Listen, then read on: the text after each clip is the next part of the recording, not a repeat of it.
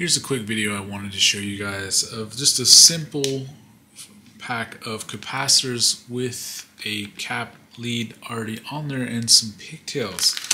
Here's some examples of what I end up doing. A lot of times I'll take uh, like this 1035 uh, volt capacitor right here or maybe one of these smaller uh, 470 35 volts. You can see it's a bit smaller and then I will take the leads, kind of solder it onto the XT60, and then uh, you have this at the end of the pigtail. Now there's kind of a big debate on whether or not this is doing nothing. Uh, this is kind of where I prefer to do it because a lot of times there's not enough room inside the build to kind of put these things. But for a couple of bucks, you can get a five pack of these things. So this has like one of these little cap cap things already installed for you and it's wired up. So then you can put this on any build. You can keep the wire short and all of this work that you end up having to do with the double-sided mounting tape is already done for you. And then you can mount the cap anywhere inside your build that you can fit Here's one on the pigtail. You can see how banged up this thing has gotten from crashing a lot. It's actually probably doing no more good. This thing's busted, needs to be replaced. Here's another method of on the pigtail where you can have this type of little cap cap thing out here. But again, look at that. This one is banged up.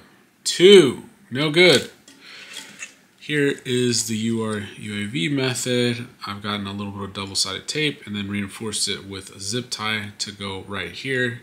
Not really any chance of getting banged up and the wires are already there for you so I can just put them onto the power pads and it's kind of nice, easy, and out of the way. I could locate this anywhere. This is a tight potted racer, so there's no room inside. So you pay a couple of bucks for this. I've seen these like anywhere from 8 to 12 bucks for a pack of five. But if you consider the fact that you usually pay $1.50 to $2 just for the cap itself, having these already pre-wired up for you is just a couple of bucks uh, extra as a luxury. It ends up only being cents extra per build and this saves quite a bit of time. I actually like this thing on here a lot better than extending these little leads like this and then it's kind of messy and then you have this exposed part right here. If you can find the right um, size heat shrink it works out pretty well but ever since I ran out I haven't bought more and I end up just covering it with uh, Super 33 um, electrical tape, which is not the best looking solution. So this ends up making uh, your quads look quite a bit neater.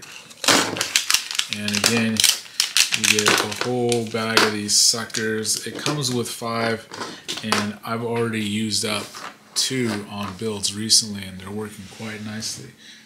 What do you think in the comments, guys? Do you want to see any more of these really quick videos on just little quality of life tweaks like this that makes your builds a little bit nicer, a little bit cleaner, and makes less time on the bench, more time flying in the field? Thanks, guys.